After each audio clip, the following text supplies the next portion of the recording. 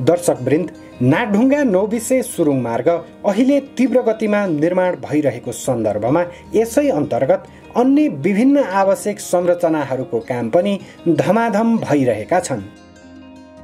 नागढुङ्गा नौबिसे सुरुङ मार्गको पहुँच मार्गको लागि अहिले काठमाडौँको बलम्बुमा नेपालकै पहिलो फ्लाइओभर निर्माण धमाधम भइरहेको हामीले दृश्यमा देख्न सक्छौँ। हाम्रो देश नेपालमा सडक सञ्जालको लागि आधुनिक संरचनाहरूको निर्माण भने भर्खरै सुरु भइरहेका छन्।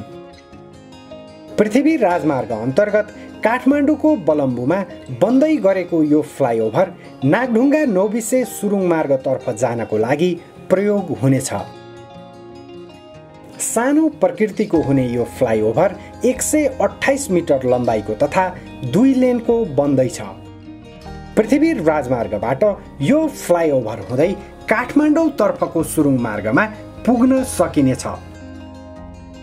बलम्बुमा बनिरहेको यो फ्लाइओभर नागढुङ्गा नौबिसे सुरुङ मार्ग अन्तर्गत नै बनिरहेको हुनाले सुरुङ मार्ग निर्माण गरिरहेको जापानिज कम्पनी हाजमा आन्दो कर्पोरेसनले नै यसको निर्माण गरिरहेको छ। यसको साथै यसको आसपासमा रहेका घर जग्गा लगायत अधिग्रहण गर्नुपर्ने काम पनि साथसाथै गरिँदै आएको छ।